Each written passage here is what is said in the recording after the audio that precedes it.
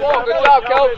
You guys attack the ball. Within the last nine years, uh, as a coach, I have 100 wins, but we, as a program, has achieved this because without the players and without my assistant coaches, none of this is possible.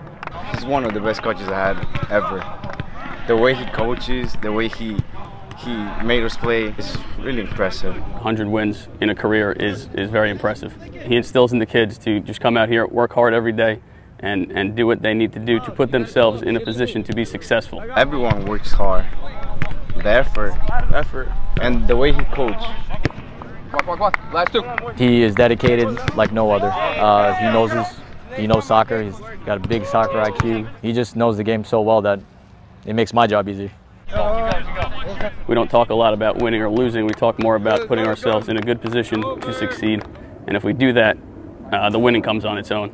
Uh, we try to preach to them too that if you want something bad enough, you're going to find a way to do it. And if not, you're going to find an excuse. And our kids don't really find excuses. We find ways to, to get stuff done. We've had great success with many, many kids that gone on to do great things. Uh, we just want to continue that tradition.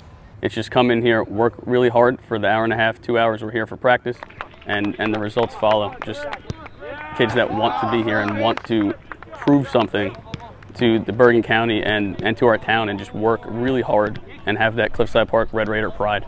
In the past, we've won championships, a lot of league titles, some state titles, one county title. We come here, we just set up a game plan, and the kids perform it, and they play hard and they work hard.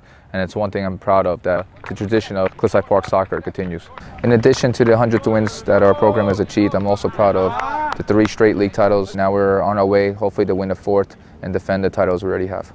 He's the best. Love my coach. I'll do anything for my coach.